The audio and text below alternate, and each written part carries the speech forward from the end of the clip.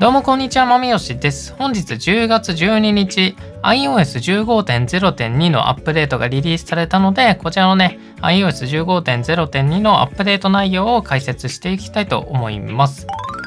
まず1つ目、写真を保存したスレッドまたはメッセージを削除するとメッセージからライブラリに保存された写真が削除される可能性がある問題。これに関しては、このメッセージアプリを使ってる方限定ですね。このメッセージアプリで届いた写真をこの写真アプリに保存するとします。で、そのメッセージアプリの画像付きメッセージを削除すると、こちらのね、保存した写真からも消えちゃう問題っていうのが今まであったんですけども、それが修正されましたと。まあ、ただね、なかなかない状況なので、結構気づかない方も多かったんじゃないかなと思います。え、続いて2つ目、 MagSafe 対応 iPhone レザーウォレットが探すに接続されないことがある問題。これ Apple 純正のレザーウォレットなんですけども、1世代目はね、ただのウォレットだったんですけども、2世代目の新しいやつは探すアプリに対応しました。え、探すアプリに対応したことによって iPhone と離れると忘れてますよとか、あと位置情報が通知されるんですけれども、その探すアプリに接続できない問題が修正されました。ま、これね、結構致命的な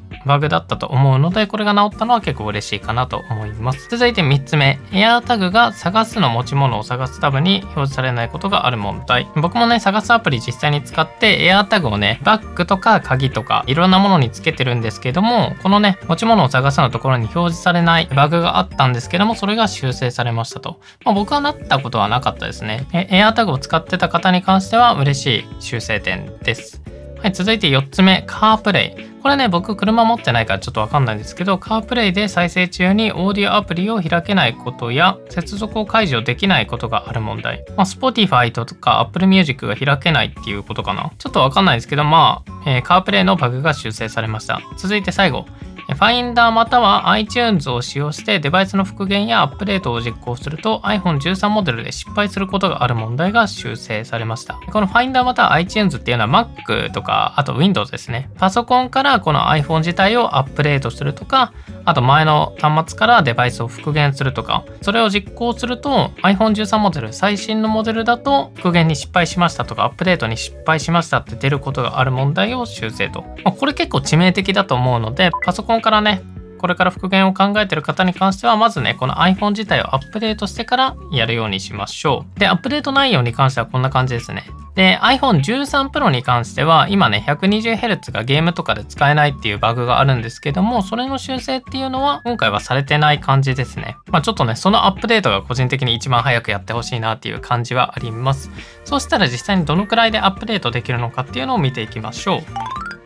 はい、今回は iPhone 12 Pro Max でやります。15時49分からスタートですね。アップデート方法に関しては、設定をタップして、この中の一般、